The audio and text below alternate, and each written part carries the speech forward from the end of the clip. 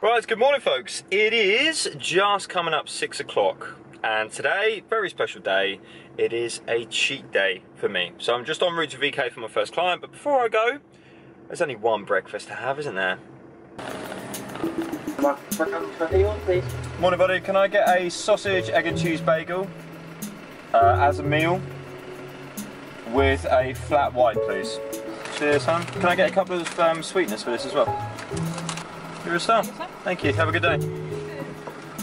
Oh yes, I've been looking forward to one of these for a while. So we have the obligatory McDonald's hash brown and sausage, egg and cheese McBagel with of course a flat white.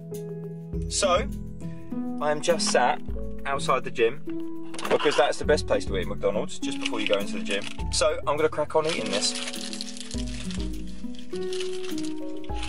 Oh. Oh, that's so good.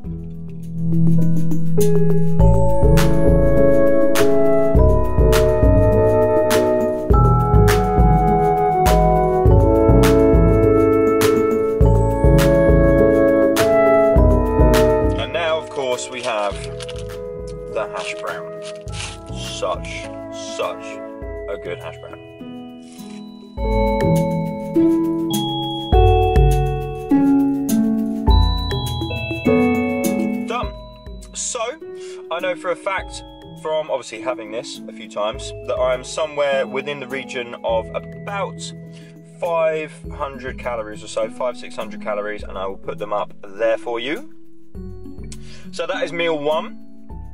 And now I've got a client to train. Then I'm catching up with my mate by Moy's Lot because it's their very final session today. So we're going to head down the beach, get a session down there, gonna head for a coffee afterwards, and then see what we fancy for lunch. So I know a few people are wondering, Moisey, why are you doing a cheat day? Well, as some of you will know, I've been dieting for a long time now, since the beginning of October last year. And there's been fluctuations on that diet, Christmas, birthdays, uh, my attempt, 20,000 calories that didn't really go to plan. And uh, I've been doing a lot more research into the psychology of food. And usually I implement things like refeeds, where you increase carbohydrates um, slightly for a day and increase calories with it. However, this time out, I've done a lot of research into cheat days, and although they are not the most uh, advantageous thing for your physique, they can be actually quite beneficial psychologically because you don't track, you basically remove yourself from MyFitnessPal, so you're able to look at food in a, I suppose, normal sense, or what most of the populace do, in sense of that's tasty, that's not tasty, as opposed to that's that many calories, that's that many calories. And it's just a well structured diet break for one day. And what the 20,000 calorie challenge or 12,000 ended up being proved was that one day doesn't upset the apple cart too much. So it's almost one step backwards to go two steps forwards. So today I'm not going to be tracking until the end of the day. So future Kris is going to look after the macros and calories etc that you see on screen and I'm just going to enjoy some food and eat intuitively. Now with an intuitive cheat day it is very much a case of you eat but once you feel full you stop. You don't binge, you don't gorge, uh, it's not like the 20,000 calorie attempt when it's trying to consume as many calories as possible. I am literally just going to eat today what I feel like eating when I feel like eating it. So this morning, woke up fancying that McDonald's, and then for breakfast, potentially pancakes, but we'll see. We've got a little bit of work to do first, so I'll catch you guys in a bit. Right, here we are on a very windy beach with my season 5 lot. Give us a wave.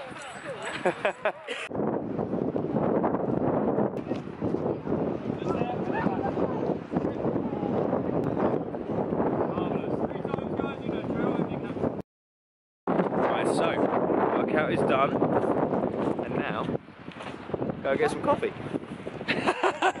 right. Meal number two. We have this big ass muffin. you alright there, love? It's probably about five, six hundred calories, but yeah. Right, so back home after this morning's Made by session, and feeling a bit peckish. Fancy something sweet. So you know what, there's only one thing for it. Pancakes!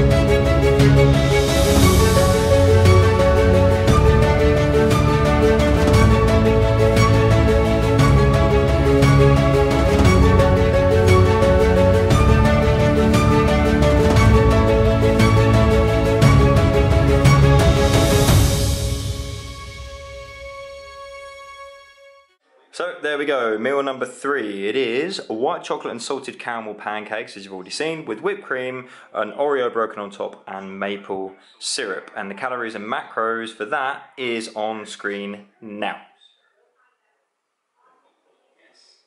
Right, let's tuck in and enjoy.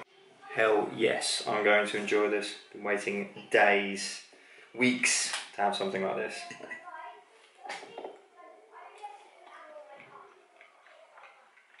Oh. Oh my god. It's so good.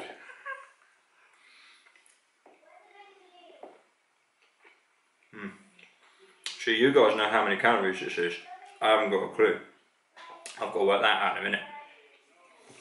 All I know is it tastes like a lot. I've got to show you this.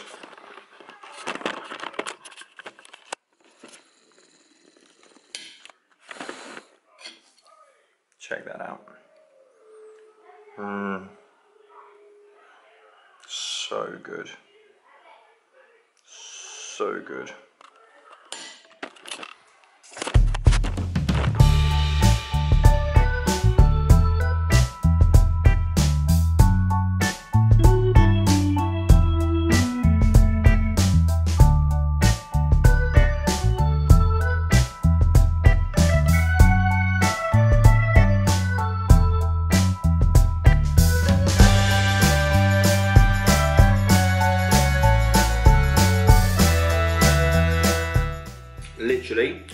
The sweetest thing I've ever, oh, the sweetest thing I've ever eaten. But that was damn good. I've been waiting for them for a very long time. So, done. The worst bit now though, is washing up. right, mountain of washing up done. Self-created to be fair, and now we have Formula One and the leftover Milky Bars or Milky Buttons for all the babies. William. Polly. For you. Penny. For you.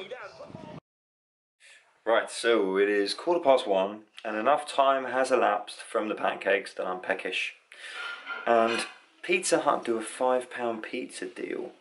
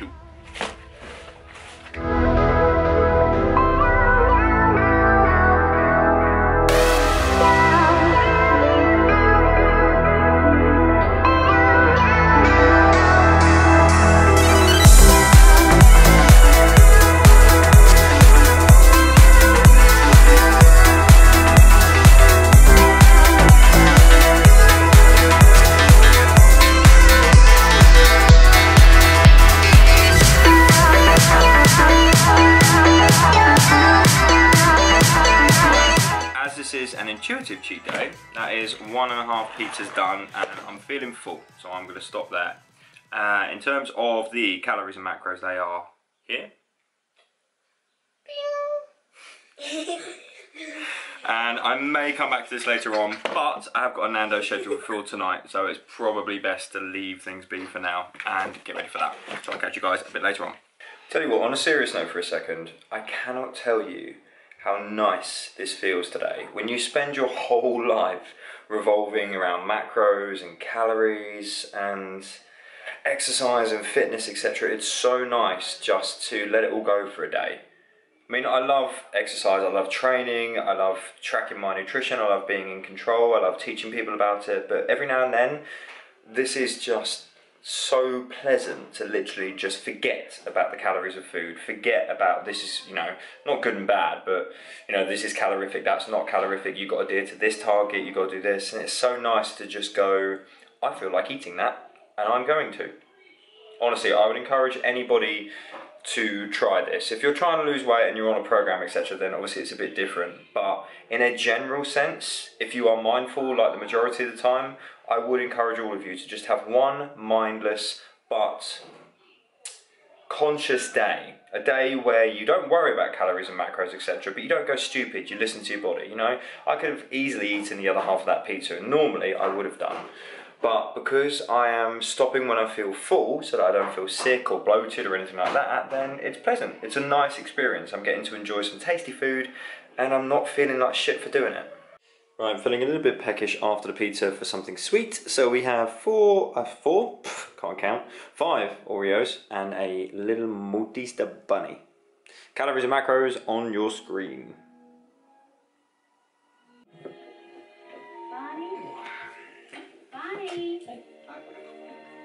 I gotta go.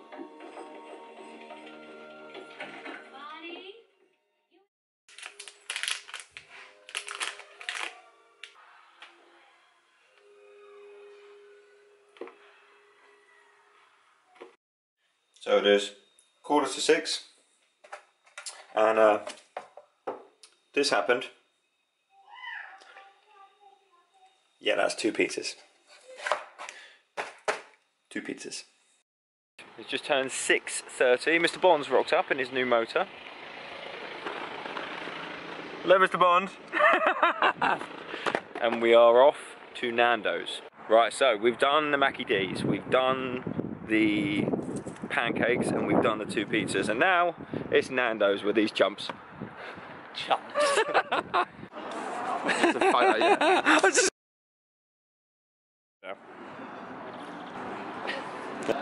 Right. Nice. There we go. So we have butterfly chicken, garlic bread, and mash. Mr. Bond, yours looks very appetising. One cut. What we got, George?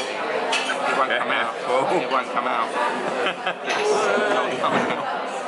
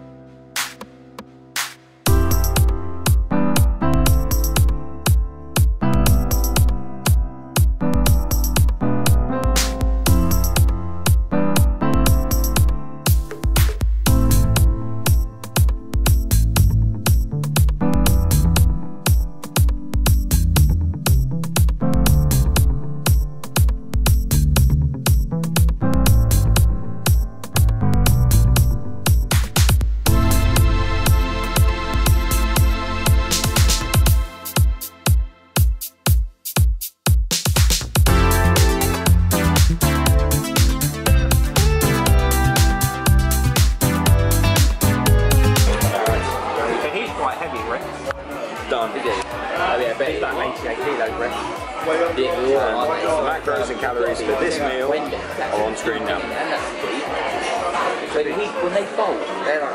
Right, so Nando's is done, and I couldn't resist. Cookies.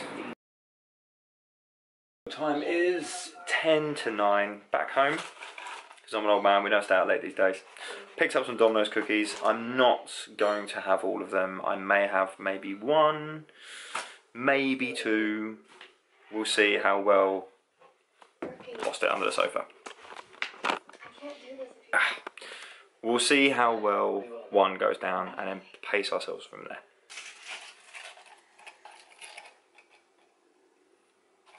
In my defense, I only had two. So, on that note, folks, I'm going to wrap the video up here. I think we've hit about 6,000 calories today, but it's been interesting. It's been awesome to just release the shackles on my mind and basically just be able to eat what I feel like eating when I feel like eating it, and my god, have I done that. But at the same time, it's quite surprising how crap crap food makes you feel. I felt this when I did my attempts at the 20k, but even more substantially uh, this time out because I felt great earlier on the day. But as the day's gone on and I suppose my body's begun to absorb the poorer choices of food, and because obviously I'm, I'm used to eating a more balanced diet these days, um, heads become fuzzy again, a bit like it did with the 20k. So it really does show that when you have poor food all the time, you do adjust to it and you do get used to it. But once you begin to tidy up your diet and you find a good balance between the shit and the good, if you will, then you do tend to find that the poorer choices or having too much poor choice food really does begin to impact you and your energy levels drop, you feel lethargic, as I said, fuzzy headed, just feel tired. Um, so there's a lot to take away from that when you're thinking about having the shit choices of food. It's about remembering the way that it makes you feel, remembering how I feel right now. Because I'll be honest, right now, I don't want anything poor choice. I'm looking forward to tomorrow of getting back onto the program again, having a salad. I know I said that at the end of the 12k, but honestly, you do begin to appreciate the better choices of food when you do days like this. But in my experience now, there is a lot of positives to come from this. Like I said, I've been able to relinquish the constant caloric maths going on in your head whenever you're on a diet or being mindful about your food choice. I've been completely free today. There's been no guilt involved. I've eaten for the for the sake of whatever I feel like eating. I've gone back for seconds if I felt like it with the pizza. And it's been really, really nice just not having to worry about the caloric content of my food or anything. So I do think that psychologically going forward, there is a lot to take away from cheat days as well as from refeeds.